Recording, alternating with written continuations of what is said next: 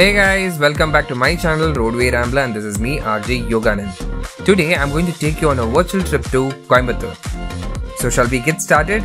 Before that, if you haven't subscribed to my channel yet, then please do consider subscribing and do like and share this video with your friends and family. The first place on our list is Kovai Kutralam.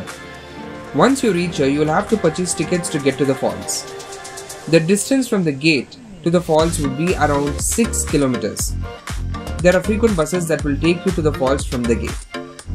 The bus goes through the forest area and once the bus drops you, you will have to walk again for around 2 kilometers from there into the forest.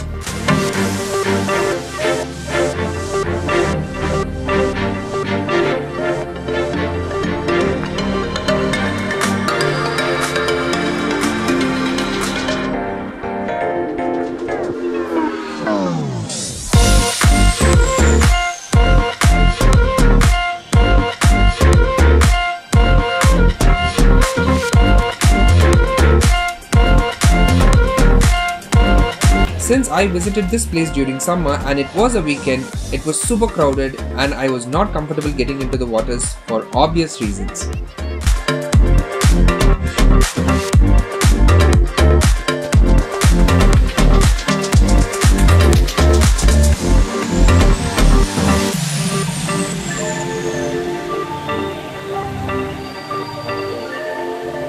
Once you come out of the main gate, you will see a river stream to your left. And I went stream walking and within a few meters I found a check dam and many kids were playing there as it was not too deep.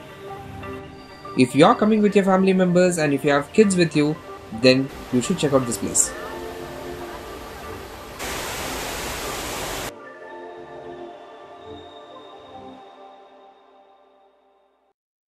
The next place on our list is Isha.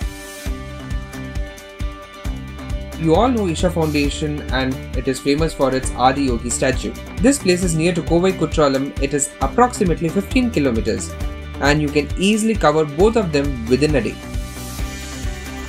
Needless to say, this is a beautiful place. Many come here to meditate, pray, to serve and also for sightseeing.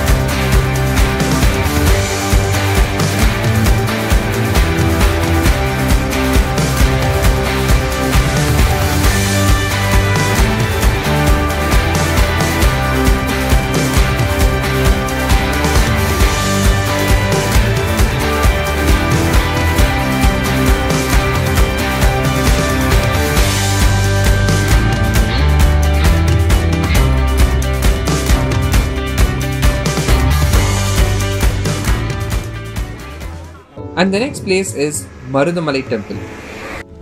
The 12th century temple is dedicated to Lord Murugan and it is quite a popular temple in the southern part of India.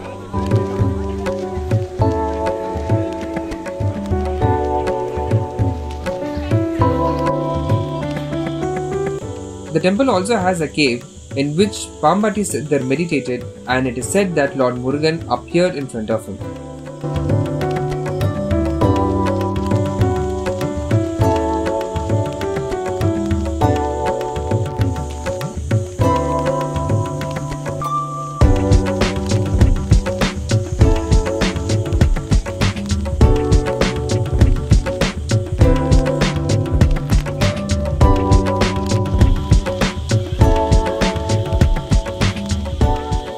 The next place on our list is GD Naidu Museum. It has Naidu's collections and his work on machinery and electrical parts during the British period. Also, there is a car museum and it has a huge collection of cars from the time of its inception. People hardly visit this place. If you are a car enthusiast and if you happen to visit Coimbatore, then you should visit this place. It is worth a visit.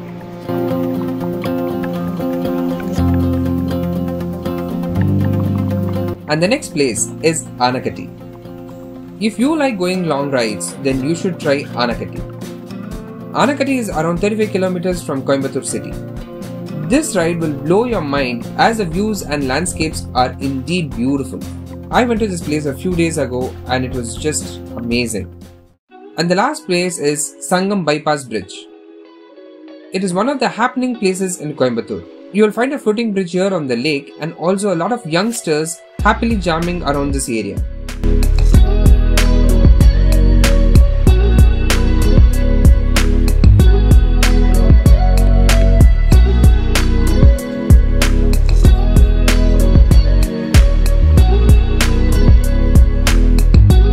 With this, we come to the end of the video and I will catch you all next week with yet another video. Until then, this is RJ Yoganand signing off. Tada, bye bye and take care.